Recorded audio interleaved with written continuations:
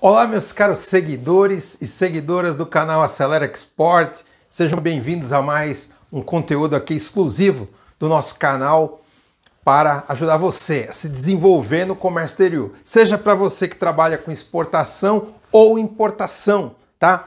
Meu muito obrigado, um abraço.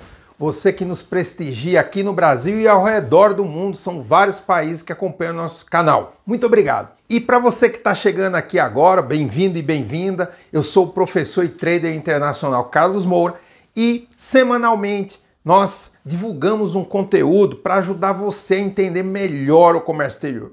Tá? Um assunto muito recorrente que nos pedem para disponibilizar mais conteúdo é sobre a questão cambial e financeira. E a nossa equipe é, decidiu prestigiar você com esse conteúdo, tá? Hoje nós vamos falar sobre câmbio na importação. O processo de câmbio, ele muda um pouquinho, seja na operação de exportação ou de importação. Hoje nós vamos falar sobre importação, tá bom? Logo após a vinheta você vai assistir um conteúdo completo, tá? E aproveite agora para se inscrever no canal, você que está chegando aqui agora, aproveita agora, dá teu joinha aqui embaixo, é importante para ranquear o nosso canal e também manda tuas é, demandas, comenta, visita nosso website acelerexport.com, tá bom? E logo após a vinheta fica com esse conteúdo sobre câmbio na importação.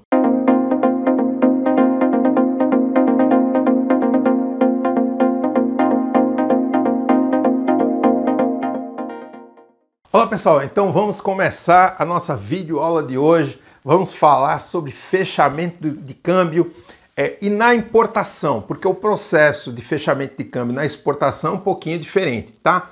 Antes de começar o conteúdo, eu quero agradecer aqui aos nossos patrocinadores, especialmente a Câmara de Comércio Exterior de Campinas e região, tá? Da qual eu também faço parte. E mando um abraço a toda a diretoria. Então vamos lá, pessoal, sem perder tempo. Vamos falar sobre o processo de câmbio. Primeiro, eu fiz aqui uma definição para você entender esse processo, tá? Na prática, o fechamento de câmbio, tanto no caso dos exportadores como importadores, é a conversão para a moeda nacional de operações financeiras feito por meio de uma instituição financeira autorizada pelo Banco Central Brasileiro, responsável pela regulamentação e fiscalização, tá, do mercado cambial no país. Então, primeiro ponto, só empresas autorizadas podem fazer o trabalho de conversão de uma moeda estrangeira para o real brasileiro. Nenhuma outra instituição está autorizada. Segundo, todas as operações tá, comerciais e de investimento feitas aqui no Brasil têm que ser feitas em moeda nacional. Não podem ser feitas em moeda estrangeira. Até agora, a, a nossa legislação não permite. Então, primeira coisa que você tem que entender é isso. Então, se você fez uma exportação, você precisa receber os recursos em reais. E se você é, está importando, precisa mandar é, é, dólares, você precisa comprar moeda tá, estrangeira em reais, tá certo? Para poder pagar a sua importação. E tudo isso é feito por uma instituição financeira que está capacitada para fazer isso daí. Além do mais, eu recomendo que você trabalhe com instituições que possam te dar um melhor serviço. Quem são essas empresas? As instituições autorizadas a trabalhar no mercado de câmbio são os bancos, as corretoras de câmbio e as fintechs. Eu recomendo as corretoras de câmbio e as fintechs. E por quê? Porque são especializadas trabalham focado nisso e por isso te dão um melhor atendimento, uma consultoria. E se você precisa de indicação, nós podemos indicar, temos excelentes parceiros que podem te ajudar nesse processo. Entre em contato comigo em contato@acelerexport.com e nós vamos te indicar excelentes empresas, tá? Então agora vamos entender o processo. Como fazer esse fechamento? Primeiro, pessoal, você precisa fazer contato com uma dessas empresas. Por isso que a gente pode te indicar. Segundo ponto, você precisa fazer um cadastro, porque o processo de câmbio tem que ser um processo totalmente rastreável e a sua empresa precisa ser conhecida pelo sistema financeiro e cambial brasileiro. Então você precisa ter um cadastro. Terceiro ponto, a apresentação da documentação tá, que você fez a importação para que você possa enviar recursos ao exterior. E o quarto ponto, você precisa providenciar a gestão dos recursos, que podem ser próprios ou um financiamento. As fintechs, as corretoras é, de campo, principalmente os bancos, podem te ajudar a conseguir uma linha tá, de financiamento. Inclusive o próprio governo disponibiliza linhas, tá, linhas de financiamento para você fazer esse processo, tá certo? E depois que você apresentou os recursos, você tem ainda um quinto processo que é o fechamento de câmbio em si. Muito bem. Agora vamos para entender como funciona o cadastro. Então, primeira parte, você precisa apresentar tá, os documentos pessoais é, dos sócios, o RG, o CPF. Depois, o contrato social da empresa que vai é, fazer a importação. Terceiro ponto, comprovante de faturamento da empresa para mostrar a capacidade financeira. E por que tudo isso, pessoal? Para evitar a, as empresas de fachada, tá? A, Existem empresas que são criadas, tá certo? Para lesar o, fisco, isso existe.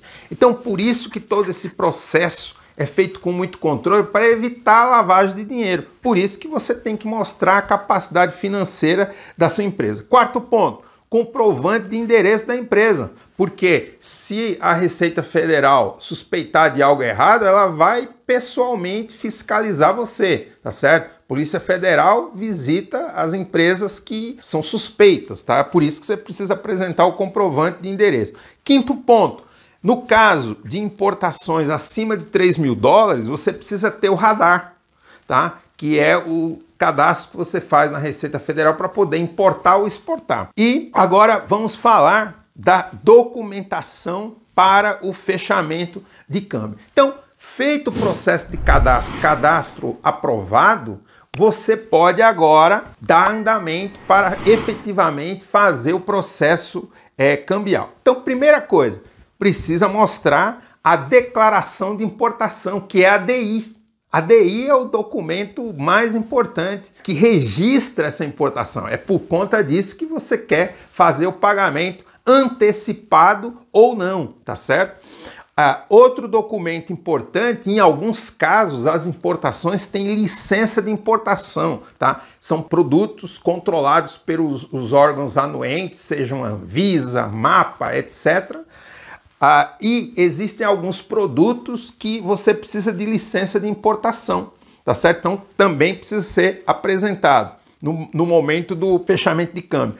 E para alguns casos, tá? Que as operações são feitas com prazo acima de 360 dias, existe o ROF, tá? Isso quem faz? O ROF é o Registro de Operações Financeiras. Quem faz é a, a, o banco, a corretora de câmbio, a própria fintech tem que fazer isso para que o, o Bacen fique sabendo, tá? Quarto ponto, você precisa apresentar a proforma ou a comercial invoice. Quando você está fazendo um processo que vai enviar a, uma parte do dinheiro tá, antecipadamente, você usa a proforma, tá? No caso é, do pré-pagamento do processo. Agora, quando você já está fazendo o fechamento para o pagamento da sua importação, você manda a comercial invoice, a commercial invoice, tá certo? E o quinto ponto, agora chegou a hora do valor, que é ah, o valor de conversão que é feito através da PETAX. A PETAX é uma taxa é, que o Banco Central divulga para o mercado e aqui tem um negócio bem interessante, tá? Um ponto interessante. No caso da importação, você vai usar a PETAX de compra do dia anterior ao fechamento de câmbio. E isso é bem importante, porque se você não fizer dessa forma, a nota fiscal vai ter um valor errado. E o sistema da Receita Federal gerencia isso, pega isso, você pode tomar uma multa se você não fizer isso adequadamente, tá certo? Muito bem. E feito todo esse processo, o contrato de câmbio ele é emitido e está fechado, os recursos são enviados, tá certo? No caso, pessoal, da exportação, a PETAX que se usa é a PETAX de venda. É diferente. Na exportação é a PETAX de venda, que é um valor diferente do de compra, tá? E no caso da importação é a PETAX de compra. Isso é vital para você não tomar uma multa, tá certo?